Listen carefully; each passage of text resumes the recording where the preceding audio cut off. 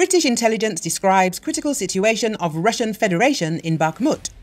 Ukrainian forces are continuing to carry out successful offensives near the city of Bakhmut in Donetsk Oblast, while the Russian military is suffering from low morale and hardly has the reserves to hold the town. United Kingdom Defence Intelligence reported it. It is noted that after a lull in June over the past seven days, Bakhmut has again become the site of some of the most intense fighting along the front, with Ukrainian troops making steady gains both north and south of the city. Russian defenders are highly likely suffering from low morale, a mix of disparate units, and a limited ability to find and strike Ukrainian artillery, UK Defence Intelligence notes. The review points out that Moscow apparently considers it politically unacceptable for Ukrainian forces to surrender Bakhmut a city that has symbolic value as one of the few achievements of Russian forces in the last year of the war. However, there are highly likely few additional reserves for Russia to commit to the sector the UK intelligence service states the town of Bakhmut in Donetsk Oblast was the scene of one of the fiercest confrontations